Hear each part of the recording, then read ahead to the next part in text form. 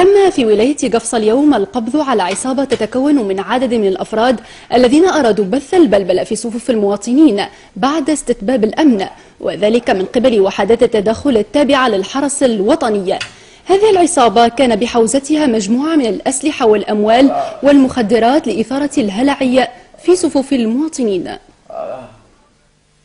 مكنت المجهودات الأمنية المشتركة بين مختلف الوحدات الأمنية من حرس وشرطة وجيش وطني منذ البارحة وإلى حدود هذا اليوم بولاية قفصة من تخليص البلاد والعباد من المجموعات التي تمارس عمليات الترويع والسلب والنهب وذلك باستعمال الحواجز على الطرقات. ومن بين هذه المجموعات والتي تم البارحة إيقاف 18 فردا منها كما تم إيقاف مساء اليوم ثلاثة أفراد كانوا يستعملون الزي للحرس الوطني.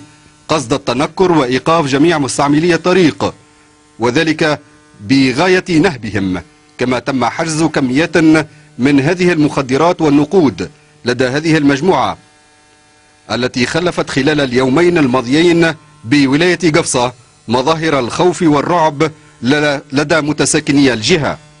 تعرف أنت لابس القشابيه وتعرف عليك الناس كلك لا ولا لا تو نقول لك كيفاش بعد ها؟ افطر تو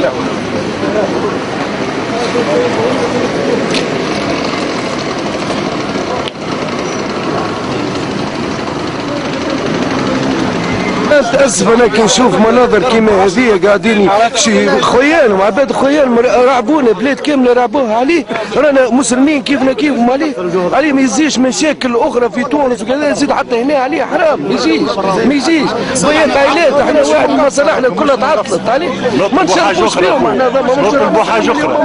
يبارك يبارك في المجتمع التونسي يزينا من المطالب المهنية الآنية. نحبوا تو مطالب أمنية.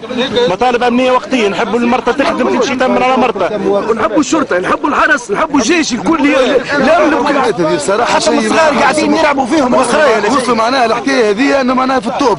يبراكي في المقيم زي الحاكم. هذا قاعد يحاربوا أنا كتاكسيس تعرضنا برشا فركاجات امس زي الاخت تاع الصباح أنا آمس. مش تخدم طيب فانا في الحمام مصلحة تونس. كل هذيك قبل شيش مصلحة تونس مصلحة أخرى. أو شدهم تو بعض العصابات هذيك والله يقول مثل سنين جاب ربي قال إيش قال قال سيب سيب سيب روح شايب جاب دخلت جر المواطنين لازم يعاون إحنا يلزم المندسين هذوما المندسين هذوما اللي هم يخموا يخموا في مصالحهم الشخصية ويجي براكي ولد بلاد ولا براكي تونسي مواطن تونسي الوعي هذا يلزم منا إحنا والكل يلزم نفكر في مصلحة تونس. قبل مصلحة أي عبد وأي بشر يلزم مصلحة تونس فوق مصلحة الجميع.